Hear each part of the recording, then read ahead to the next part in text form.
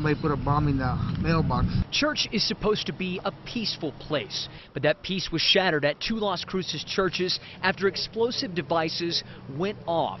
The first was at Calvary Baptist after a blast in a mailbox near the church. Half an hour later, another explosion, this time in a trash can outside Holy Cross Catholic Church. I took the bread in my hands and I was saying, take and eat. This is my, and I was bending over saying, this is my body when this large bang went off.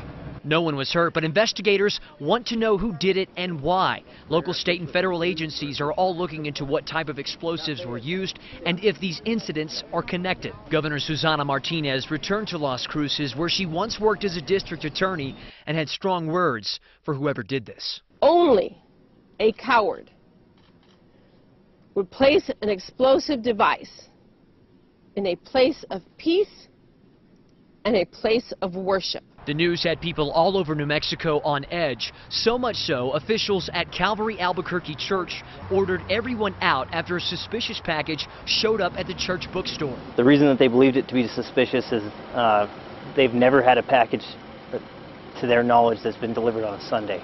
APD officers and bomb squad members showed up fast and figured out the box was just a box filled with books. But with the blasts in southern New Mexico fresh on everyone's minds, APD says the church did the right thing. They didn't want to waste anybody's time, but at the same time, um, after telling them that, you know, what happened this morning, every precaution needs to be taken. And that's exactly what's happening in Las Cruces, where other churches are on alert as police look for suspects. So far, authorities in Las Cruces say they haven't found anything that leads them to believe this was a hate crime, but they are still investigating. Meanwhile, the FBI has also set up a hotline for anyone with information about suspects to call. It's 1-800-CALL-FBI. Back to you.